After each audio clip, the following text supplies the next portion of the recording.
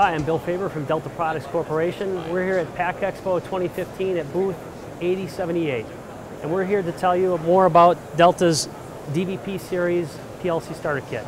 And built into it is a PLC, an HMI, and this is the PLC. It's got an Ethernet port built into it.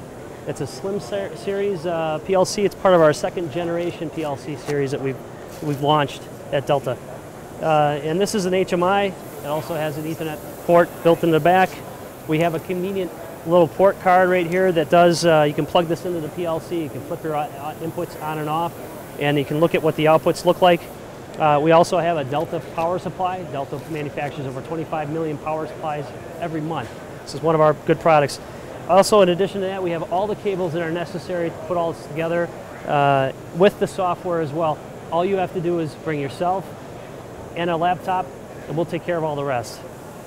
So you can get more information about this uh, at, uh, you can actually enter a, a, uh, a drawing at uh, Delta to win one of these if you go to www.delta-americas.com forward slash PLC starter kit, there's more information about this on the web, and you can also register to win one of two.